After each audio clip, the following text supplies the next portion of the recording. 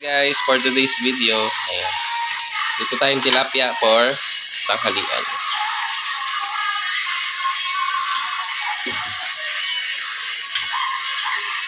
Hindi tayo nakakapag-upload.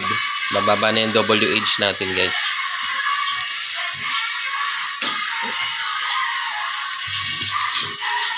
Ayan. Lapit na siya maluto.